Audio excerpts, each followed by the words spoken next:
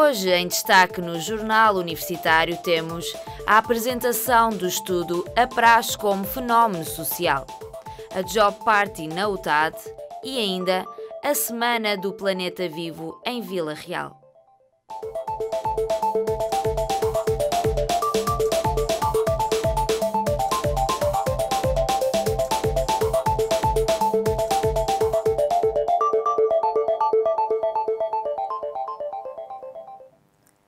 Tarde a todos. Sejam bem-vindos a mais um Jornal Universitário. O Ministério do Ensino Superior encomendou um estudo sobre o fenómeno social da praxe. A apresentação do relatório está em digressão por várias universidades do país. Tradição ou imposição? A praxe é sempre um tema controverso. Há quem a defenda e há quem a condene. Isso para uns é humilhação, para outros é integração. Foi para tentar entender a praxe como fenómeno social que a Direção-Geral do Ensino Superior encomendou um estudo a uma equipa de investigadores especializados. Porque é um fenómeno que muita gente se posiciona, muita gente tem opinião, muita gente sabe que existe, mas também uma larga parte das, das instituições e da opinião pública uh, não o tem encarado até recentemente com a seriedade e a importância que, a nosso ver, ele assume. Em apresentação por diferentes universidades, o debate chegou à UTAD e foram visíveis as diversas opiniões sobre a praxe, mas com extremos bem definidos. A proibição da praxe no recinto universitário e o saber que se pode dizer não à praxe foram alguns dos temas levantados por uma plateia muito participativa. Foi esse o sentido da nossa, do, nosso, do nosso estudo, captar a perspectiva a partir dos diferentes atores, de um modo ou de outro, relacionados com este tema. Agora, a decisão está nas mãos das instituições e entidades públicas. Há um empenho por parte das instituições e do governo em, em dedicar maior atenção a este tema e, eventualmente, seguir algumas, enfim, das medidas e das sugestões que nós, uh, que nós propomos, embora, naturalmente, que uh, o critério e a decisão compete sempre às autoridades políticas apesar de todo o debate, prachar ou não prachar, vai continuar a ser um tema que divide a opinião pública. Abril é também sinónimo de queima das fitas. Três anos passam a voar e é agora tempo de efetivar todos os pormenores para o grande momento. Abril, lágrimas mil. Este já se tornou provérbio por parte da academia. Com o término de mais um ano letivo, é também chegada a hora tão aguardada por parte dos finalistas. Com o calendário em contagem decrescente, é a altura para ajustar os últimos pormenores e, para que nada fique esquecido, fomos falar com uma entendida na matéria. Para além do traje académico que já devem ter adquirido nessa altura, já devem ter adquirido no final do primeiro ano, hum, são necessárias as fitas, a pasta académica que provavelmente também já adquiriram antes, eh, não guardaram para o último ano para adquirir, e depois o kit finalista que é a cartola, a bengala, a roseta ou laço, consoante os, os casos. E porque é com os erros que se aprende, este ano parece que a maioria não deixou para a última da hora a marcação do restaurante, que por esta altura já é hábito estarem esgotados. Apesar da crise económica, os pais abrem cordões à bolsa para que o grande dia dos filhos se torne memorável. Muita gente ao restaurantes Uh, foi um bocado complicado, porque nós decidimos fazer um pequeno grupo todos juntos e encontrar um restaurante que tivesse lugar para tanta gente foi um pouco complicado. Fora isso, foi relativamente fácil. Eu, em dezembro já fui procurar e teve mesmo que ser antes, porque avisaram-me que um mês antes já ia estar tudo ocupado e tentei encontrar um próximo e economicamente também acessível. As pessoas queixam-se, toda a gente se queixa, mas quando chega a hora todos têm, todos gostam de, de, de, de fazer a sua festa, aquilo por, pelo qual sempre esperaram fazer, não é? Eh, acabam por esquecer um bocadinho a, a, a, os problemas monetários e, e acabam por uh, adquirir tudo aquilo que precisam para o momento, sim. A pacata cidade de Vila Real já se habituou ao movimento dos estudantes. Uns a chegar, outros a partir, mas o certo é que todos se farão acompanhar pelo típico sentimento português, a saudade. A UTAD associa-se à iniciativa global Hora do Planeta, que terá lugar no próximo sábado, dia 25 de março. Por essa mesma razão, hoje temos connosco em estúdio o professor João Carvalho, membro da organização do projeto Hora do Planeta, e Tamires Rocha Santana, a responsável pelo mercado da primavera.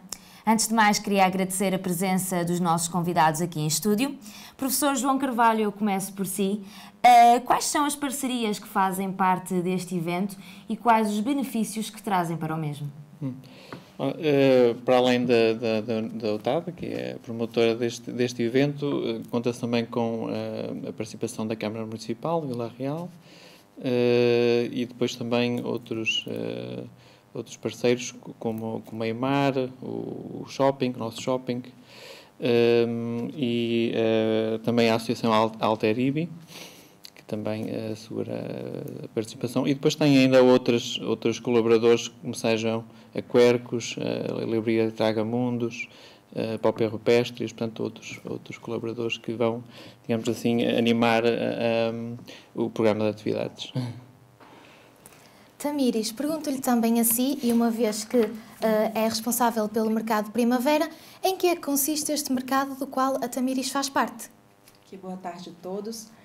É, este mercado vai ser uma das diversas atividades que vão decorrer durante o dia 25 de março.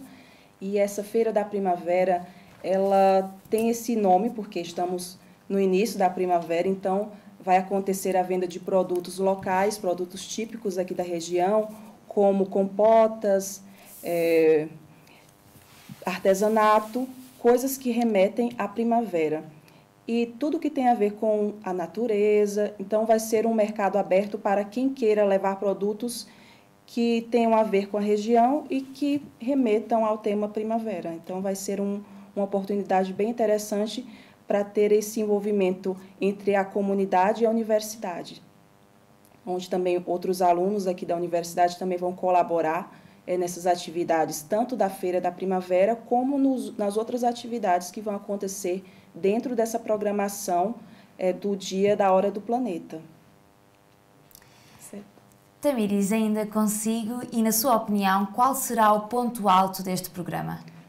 Para mim, o ponto alto dessa programação vai ser no final do dia, é, que vai ter uma vigília com velas, ali concentrada na capela do campus da universidade, onde a partir das 8h30 às 9h30 da noite vai ter a, a, vão ser apagadas as luzes é, como gesto simbólico por conta do, da hora do planeta para que as pessoas se conscientizem sobre os cuidados que devem ter com o meio ambiente.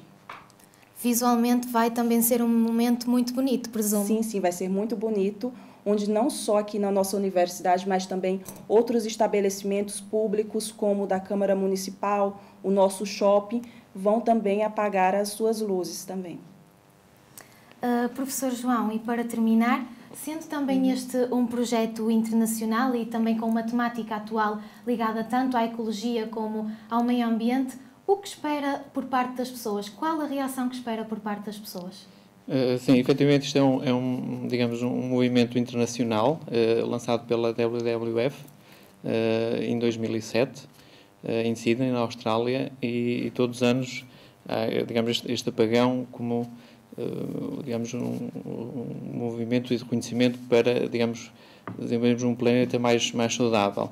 E, portanto, é, trata-se de um movimento muito ligado também com, com as questões das alterações climáticas e a preservação da biodiversidade. Portanto, o programa uh, envolve um conjunto diversificado de, de temas e atividades ligadas com, com, com o ambiente, com, com a biodiversidade. Portanto, espera-se que hum, o envolvimento e a participação da, da, comunidade, tanto da cidade como da universidade, seja, seja eh, grande, hum, que haja bastante participação. Eh, e, portanto, consultando o programa, portanto, pode-se ver que, que, é, digamos, um conjunto de atividades bastante aliciante e esperamos que seja bastante participado. Uh, nessa hora, pergunto-lhe também eh, quando for estimada a poupança de energia, presumo que uma hora das luzes apagadas irá ter uma grande repercussão no, no consumo geral de energia, certo? Sim, bom, se replicarmos isto, eventualmente não só uma vez por ano, mas se calhar até noutros momentos, se calhar o efeito pode ser interessante. Obrigada mais uma vez aos nossos convidados pela sua presença e fica então feito o convite a todos os que quiserem aparecer a participarem nesta iniciativa.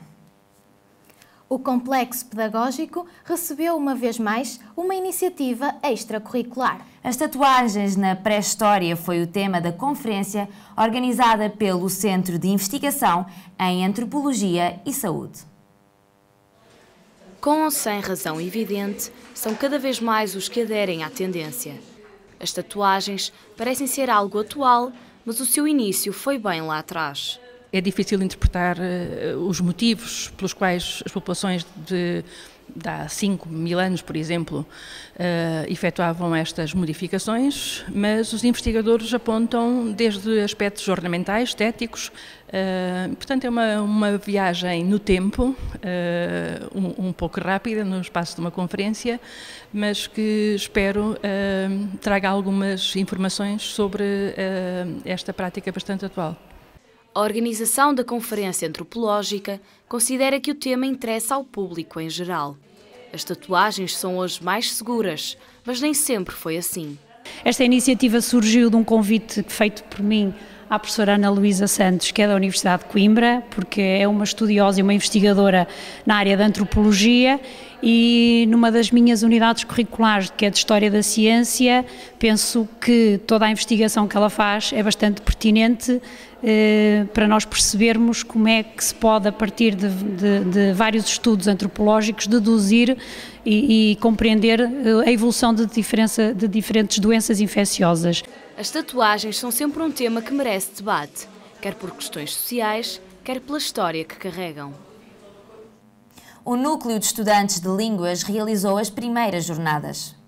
Temas como a gestão, o empreendedorismo e a literatura foram alguns dos assuntos em destaque neste evento. Como construir um caminho para o topo? Foi com o mote de Building Your Way to the Top que o Núcleo de Estudantes de Línguas organizou as primeiras jornadas. A organização do evento foi realizada de forma a aliar ambos os cursos de línguas. Eh, esta escolha partiu de, de uma iniciativa que nós tivemos, que foi um brainstorming para realizar o design de todas as jornadas. Um, e a imagem que nos vem mais à cabeça são arranha-céus. E esses arranha-céus servem como metáfora para construir um caminho até ao topo. Dividido em dois dias, o painel das jornadas foi preenchido por palestras e demonstrações, quer de alunos, antigos alunos e professores. Com a visão focada no empreendedorismo, foi dado destaque à temática das junior empresas. Eu penso que dentro das junior empresas já ganham as verdadeiras soft skills.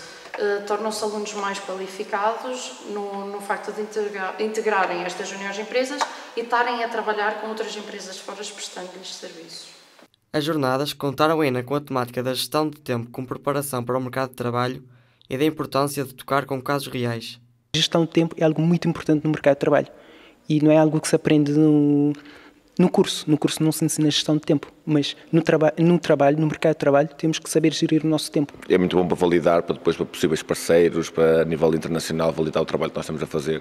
E isso abriu muitas portas, não só a nível de, de investidores, mas também potenciais clientes e, um, e parceiros um, em todo o mundo. Postada na diversidade, a programação foi organizada tendo em conta o plano de estudos e as necessidades dos alunos nós podemos beneficiar muito a partir do momento em que uh, temos uma perspectiva de outros alunos que já estudaram cá, alunos esses que estão uh, a ter sucesso no mundo lá fora, no mundo do trabalho, e isso é muito bom para nós porque temos um feedback de quem já está nesse meio, ou seja, no meio do trabalho. Trabalhando no presente enquanto pensam no futuro, as primeiras jornadas de línguas vieram mostrar uma realidade do mercado de trabalho e ajudar na preparação profissional dos alunos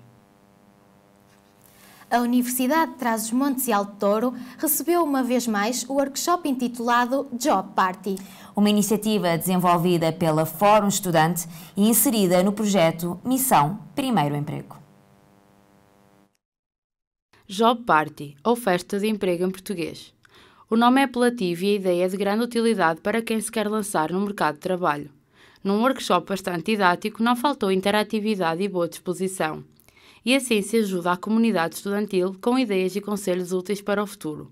A parte da manhã é um workshop sobre soft skills, sobre competências transversais, para que os jovens percebam como vão melhorar o seu currículo, que competências é que são valorizadas pelo mercado de trabalho, o que é que os empregadores andam lá para procurar, etc. O Instituto de Emprego e Formação Profissional é um parceiro importante neste projeto. Através da parceria foi apresentada a medida Estágio-Emprego, que conta com uma taxa de empregabilidade alta. Segundo estudos realizados pelo próprio Instituto, essa taxa ultrapassa os 90%. Num ambiente intimista e jovial, as dúvidas foram-se assim dissipando ao longo da sessão. Estamos eh, presentes na, na Job Party, portanto, neste tipo de, de seminários, eh, e penso que seja bastante, é bastante interessante para os jovens também poderem eh, estar a par de algum tipo de medidas, incentivos, quando saírem para o mercado de trabalho, possam usufruir, usar. É de todo conveniente, mas a parceria tem corrido muito bem. Por iniciativa própria, foram bastante estudantes que se inscreveram no workshop. Durante a sessão mostraram-se bastante cooperativos e interessados. As expectativas eram altas por parte dos alunos que se encontravam à procura das respostas, tendo sido assim superadas. Para já está a ser bastante interessante, aprendemos as cinco principais formas de, de melhorarmos o nosso currículo e acho que vai ser bastante interessante agora a segunda parte. Ao longo do dia foram sido desmistificadas as dúvidas e ideias pré-concebidas. Adquiriram-se conhecimentos práticos e teóricos e também um certificado no final. Um dia diferente e uma forma descontraída de perspectivar opções para aquele que será o futuro da geração. A Associação de Estudantes de Medicina Veterinária promoveu as primeiras jornadas de comportamento canino.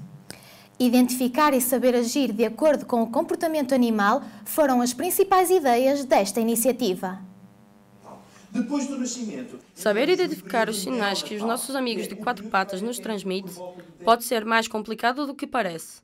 Na procura de um conhecimento mais preciso, a Associação de Estudantes de Medicina Veterinária organizaram as primeiras jornadas de comportamento. As jornadas concentraram o seu tema no comportamento dos animais de companhia. Melissa Silva, responsável pela organização deste evento, explica-nos um pouco sobre o comportamento animal. É uma componente muito nova na medicina veterinária e mesmo a nível dos tutores dos animais e cada vez mais tem um impacto na vida dos animais. Além da vacinação, além da desparasitação, além dos cuidados médicos por causa de feridas, etc., o comportamento cada vez mais faz parte do bem-estar do animal. E cada vez mais chegam pessoas à clínica por problemas de ansiedade, o cão destrói, o cão é agressivo. Daí a importância de formar os veterinários, mas também outros profissionais que temos, aí profissionais veterinários, profissionais treinadores e pessoas de outros cursos que também estão interessados na área, às vezes por serem tutores também e para conseguirem entender certos comportamentos que os animais deles têm. O certame contou com um workshop de treino básico canino que obteve lotação esgotada. Gonçalo da Graça Pereira, conhecido pelo seu trabalho em consultório animal, transmitido pela RTP1, foi um dos oradores presentes. Com alegria, Gonçalo congratulou os alunos pela iniciativa e comentou ainda a importância da formação no nível comportamental. Sem dúvida que há algumas lacunas na formação dos veterinários nesta área e, portanto, eh, jornadas destas ajudam a, a escolher e a formar adequadamente os nossos profissionais. E aquilo que nós eh, tentamos fazer foi, nestas primeiras jornadas, ter alguns temas mais básicos que possamos depois desenvolver ao longo do tempo. Nesta, nesta primeira fase, como temos alunos desde primeiro ano até quinto ano, interessa-nos rever um bocadinho a matéria que já deram no curso, introduzir alguns dados novos para o profissional, o futuro profissional, poder melhorar uh, a sua, uh, o seu trabalho e a prevenção de problemas de comportamento. Do lado de cada palco, o público, que na sua grande maioria eram alunos de medicina veterinária, consideraram que os temas foram de fácil compreensão, mas que podiam ser mais abrangentes. O tema em si é um tema muito acessível para qualquer aluno no nosso curso de qualquer ano e sendo assim é fácil nós conseguimos perceber tudo aquilo que nos está a ser dito, que nem sempre isso acontece. Portanto, este é o tipo de palestra que dá para qualquer público do, do nosso curso e há certos assuntos que são debatidos que nós, mesmo estando neste curso, não temos aquelas noções e é importante transmitirmos realmente aos proprietários uh, o que fazer em certas situações e é útil também para quem dá clínica e consultas. Que eu gostava também que houvesse uh, abordagem à parte do desenvolvimento dos gatos, desde, desde pequeninos até as fases de socialização, a fase de separação da mãe, etc. Essas coisas todas. Com o sucesso destas jornadas, podemos contar com profissionais da área da medicina veterinária mais qualificados e prontos para a identificação de problemas a nível comportamental, ajudando a melhorar a qualidade de vida dos nossos amigos de quatro patas as manhãs de sábado em Vila Real nunca mais serão as mesmas. A Associação Douro Mesh promove as caminhadas que estão a ganhar cada vez mais adeptos. Who let the dogs out?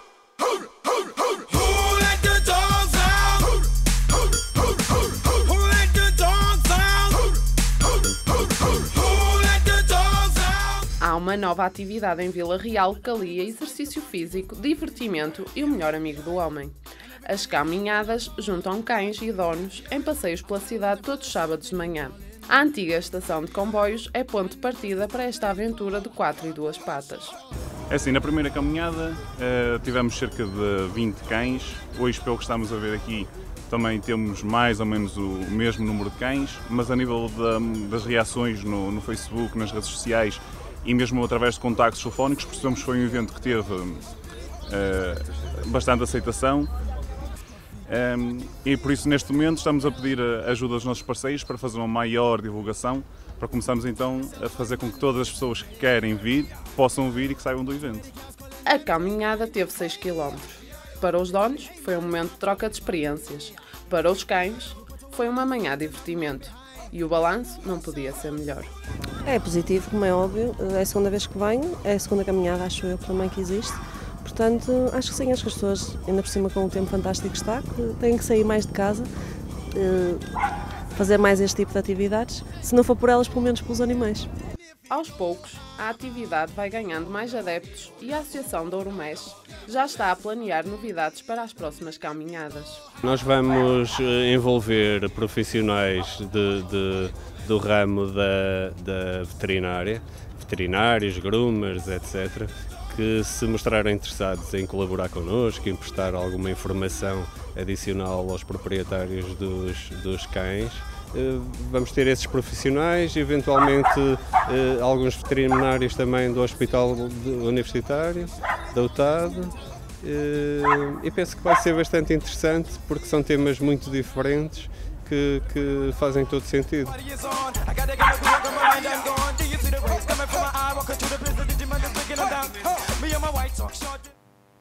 A UTAD, em colaboração com a Câmara Municipal de Vila Real, organizou a Semana do Planeta Vivo. Até ao próximo sábado, são várias as atividades ligadas à natureza, nas quais também a comunidade pode participar. Com a chegada da primavera, chegam também as celebrações da época. Ontem foi o Dia Mundial da Árvore e da Poesia, que iniciou a semana com a conferência O Homem e a Natureza, Encontros e Motivações. Departamento de Ciências Florestais e Arquitetura Paisagista a Escola de Enfermagem e o Departamento de Educação e Psicologia que se juntaram para debater a temática de como é que o homem eh, reage com a natureza e qual é a importância da fruição com a natureza no bem-estar eh, de saúde pública, portanto, quer do ponto de vista físico, quer mental. Flora de Brincadeiras foi a exposição que surgiu da necessidade de ilustrar um livro. Peças de artesanato e brinquedos feitos de cascas, galhos e madeira deram vida ao espaço. É uma forma também uh, das crianças uh, entrar em contacto com, com a natureza e conhecê-la melhor, saber como é que chamam as árvores e respeitá-las também. A Semana do Planeta Vivo termina no sábado com a Hora do Planeta, quando todo o mundo desligar as luzes durante uma hora. Vila Real não fica de fora e haverá um apagão em vários edifícios, um pouco por toda a cidade. No âmbito do concurso ao segundo orçamento participativo da Associação Académica da UTAD, decorreu no restaurante panorâmico da Academia uma prova de degustação. O chefe Vitor Matos preparou alguns pratos com salicórnia, uma alternativa ao sal. Nós temos técnica nossa. Vitor Matos, detentor de uma estrela Michelin, foi o chefe desafiado pela Universidade de Trás-os-Montes e Alto Douro a confeccionar três pratos de peixe, onde a salicórnia é o produto de destaque.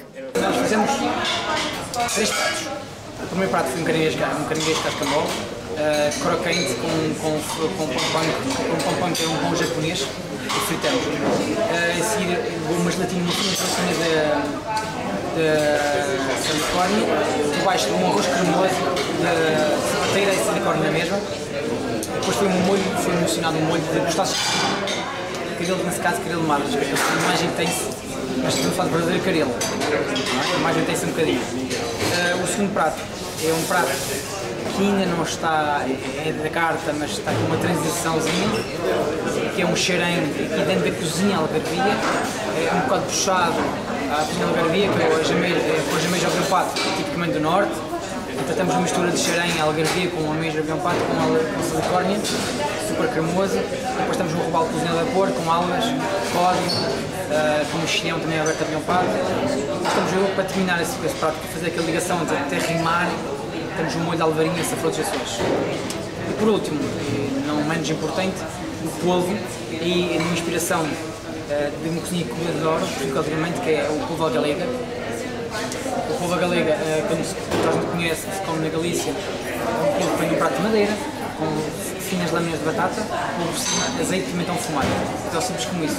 Nós aqui transformamos, uh, eles têm pimentão fumado por cima, nós transformamos o pimento, que acho que é a ligação que eu queria neste prato, o polvo confitado, é broa de milho com silicone e salsa, uh, um creme uh, pimentos assados, nós temos umas esferas, umas bolinhas, aspas, uns bombons, nesse caso que vamos chamar isso aí, bombons que explodem na boca de pimentos assados, uh, água dos pimentos assados, uh, e depois uma silicona fresca, os quiabos, os quiabos, guiamos os quiabos no tosse perfumado, retiramos só apenas as sementes, vamos buscar um bocado um caviar, um aspecto de um caviar vegetal, temos um prato.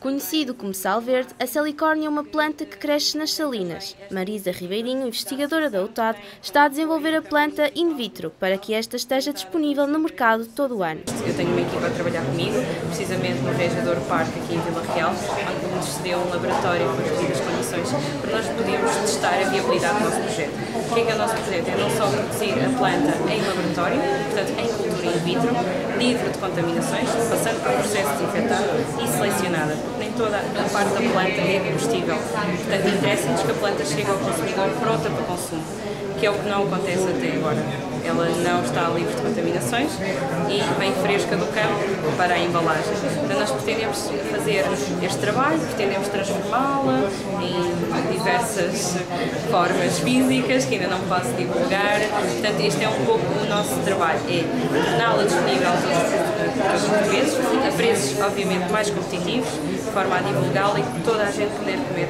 salicórnia, que é o que acontece também agora, o facto de ser um produto gourmet, o facto de estar a 20 euros o quilo e só durante abril e julho isto impede que a maior parte dos portugueses consigam consumir a planta. Quem teve a oportunidade de provar estas iguarias de alta cozinha afirma que a salicórnia pode ser realmente um bom substituto do sal na gastronomia portuguesa. Os Champladélicos deram um espetáculo no Café Concerto em Vila Real uma performance audiovisual que combinou projeção de imagens com a mistura de música eletrónica. Com satisfação e amor, aquilo que faço. Quando se faz um mix da paisagem de um pastor alentejano a cantar com um instrumental alternativo, o resultado é uma performance audiovisual. É isto que fazem os Champladélicos um projeto do Tiago e do Silvio que mistura sons e imagens e os torna eletrónicos. A noite iniciou-se no Teatro de Vila Real com a projeção do documentário Não Sou Giacometti do século XXI, que mostra a realidade tal como ela é. Mas foi no Café Concerto que se juntaram para dar início à atuação. É uma, é uma ideia que o Tiago criou de ir para um sítio durante um certo período, gravar tudo o que é música, tudo o que produz som, e depois em vídeo e, e áudio, e depois criar um espetáculo multimédia, como se fosse um cinema em tempo real de improvisação, onde uh, podemos juntar encontros inesperados, pessoas que nunca se conheceram, que aparecem ao mesmo tempo numa música. Nos Sampladélicos não há qualquer tipo de rigor científico. São dois amigos que misturam segmentos de imagem e áudio e os transformam numa perspectiva visual mais contemporânea. Nos Sampladélicos eu posso ser o que eu quiser. E o Silvio é uma espécie de descanso, é como uma criança que tem as aulas e depois vai para o recreio. Os Sampladélicos é o meu recreio, é onde eu posso experimentar o que quiser, onde me posso divertir. Aquilo acontece porque sim, não tem que haver razão, é uma espécie de terreno livre. Ver e ouvir são dois dos pilares dos sampladélicos. Eles defendem que a beleza depende da perspectiva com que é captada. Procuram cada canção, cada região em busca de um Portugal profundo. começamos a pensar, e se juntássemos o alentejano com os bombos uh, do Minho, tudo isso são origens e são coisas fabulosas para construir música. O disco Não Nos Deixeis Cair em Tradição foi considerado um dos melhores discos portugueses de 2016 pelo Jornal Expresso. Quando os homens encontram as máquinas é o nome do novo álbum, que promete ser um verdadeiro terremoto sampladélico. Foi com lutação esgotada que o Teatro de Vila Real recebeu o espetáculo As Viagens de Gulliver. Uma produção cheia de magia e humor, representada pela companhia Limite Zero. Criaturas minúsculas, gigantes, sábios obcecados por astronomia, música e matemática ou ainda cavalos racionais.